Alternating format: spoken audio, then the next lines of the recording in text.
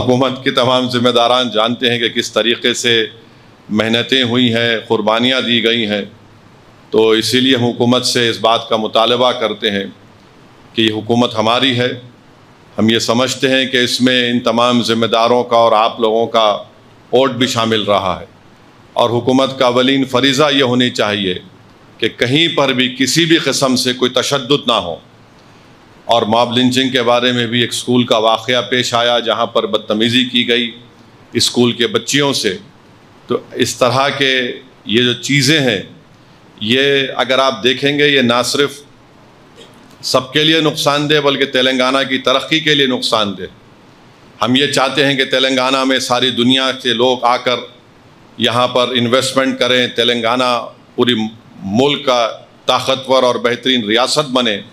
ये हम तमाम की नीयत है हमारा ख्वाब भी है।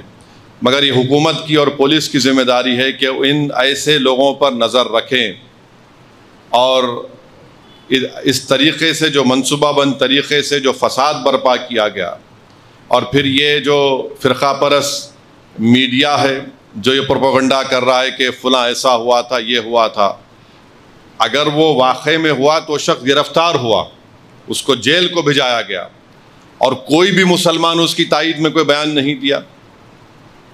अभी अदालत फैसला करेगी, मगर उसके बाद ये बंद कॉल का कॉल करना, उसके बाद फिर ये तमाम तशद को बर्पा करना, ये तो हुकूमत को ये लोग चैलेंज कर रहे हैं। और हुकूमत को ये देखना चाहिए कि ऐसे लोग जो खड़े होकर बरसर इकतदार जमात को, उनकी हुकूमत को जो बदनाम करने की कोशिश की जा रही है, उसको रोका जाए। हम नहीं चाहते कि तेलंगाना में किसी भी जगह पर फसाद हो, क्योंकि नुकसान इसका गरीब का होता है, चाहे हिंदू हो या मुसलमान हो।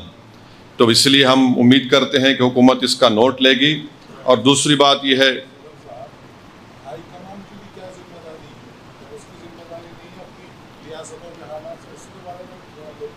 अब मेरा हाई कमान तो आप है, मुफ्ती साहब, अब उनके हाई कमांड को मैं क्या बोलूँ? हम पे अल्लाह अल्लाह का कमांड चलता किसी का नहीं चलता मगर अब ये ज़ाहिर है अब ये ज़ाहिर है उनकी आ, आ, पार्टी के बड़े बड़े कायदीन को देखना है।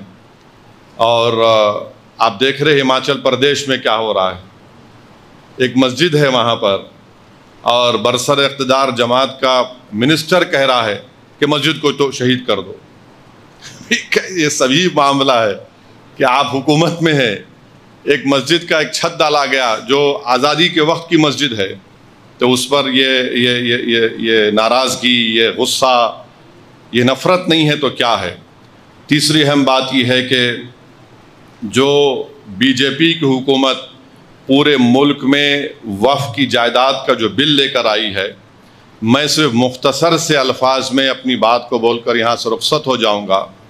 क्योंकि इन ताला all India Muslim personal law board की तरफ़ से शहर हैदराबाद में एक बड़े पैमाने पर जलसे आम का भी इनका अमल में लाया जाएगा, क्योंकि अभी शहर में हमारे हिंदू भाइयों का गणेश का त्यौहार चल रहा है। फिर मिलादुलनबी के भी जलसे और जुलूस होते हैं और थोड़ा बारिश का मौसम भी है। सदर all India Muslim personal law board मौलाना खालिद सैफुल्ला रहमान साहब के हुक्म पर इन ताला जल्द से जल्द एक मीटिंग भी होगी और एक जलसे आम भी होगा, उसमें आप लोग शिरकत करिए। मैं ज़िम्मेदारों की मौजूदगी में सिर्फ़ इतना ही बताना चाहूँगा कि अगर ये खुदा न खास्ता, ये बिल अगर क़ानून बनेगा तो कोई भी वफ़ की प्रॉपर्टी मुसलमानों के पास नहीं रहने वाली। सब हुकूमत के कब्ज़े में चला जाएगा।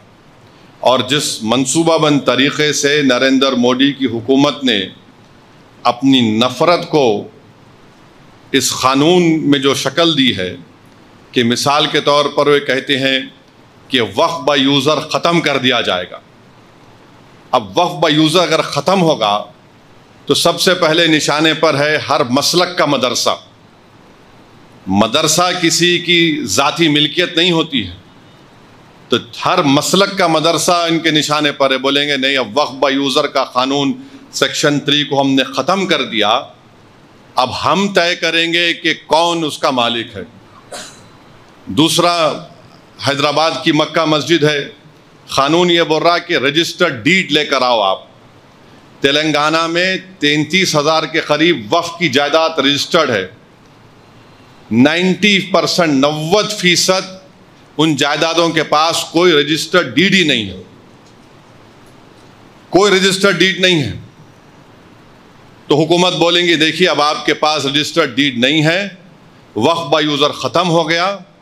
अब हम इस पर कब्ज़ा कर लेंगे। ख़बरस्तान है। ख़बरस्तान के कोई कागज़ नहीं है। खानखाएँ हैं, कोई कागज़ नहीं है। दरगाहें हैं, कोई कागज़ नहीं है। क्या है? वक्फ ब यूज़र है। अगर वक्फ ब यूज़र चला जाएगा तो ये सब ख़त्म हो जाएँगे। और ना सिर्फ़ ये ख़त्म हो जाएँगे, बल्कि खुदाना खास्ता जितनी मस्जिद की कमेटियाँ हैं, उसमें भी वो लोग बोलेंगे कि हम बीजेपी के लोगों को कमेटी का मेंबर बनाएँगे।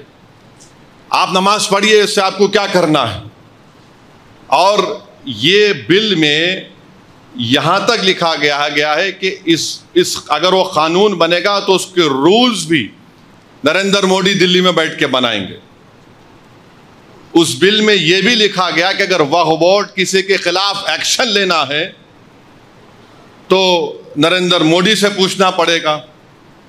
उस बिल में यह भी लिखा गया है कि सेंट्रल वफ काउंसिल में सिर्फ़ एक मिनिस्टर को छोड़कर, वजारत अखिलती बहबूद के मिनिस्टर को छोड़कर सब मुसलमान मेंबर बनते हैं। अब उस बिल में कहा गया कि ये कम से कम दो बनेंगे। दो बनेंगे। अब हुकूमत सात भी बना सकती। रियासती वक्फ बोर्ड में तमाम मेंबर मुसलमान होते हैं। तो नरेंद्र मोदी ने कह दिया